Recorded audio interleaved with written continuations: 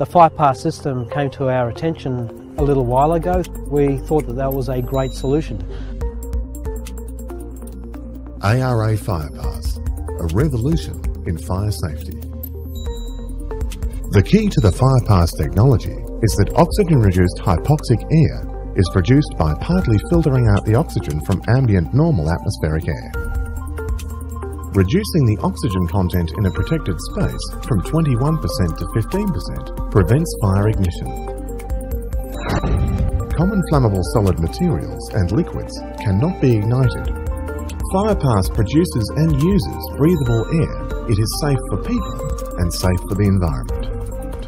Ideal applications for FirePass are warehouses, museums, archives, electrical switch room, server rooms, data centres, libraries and more.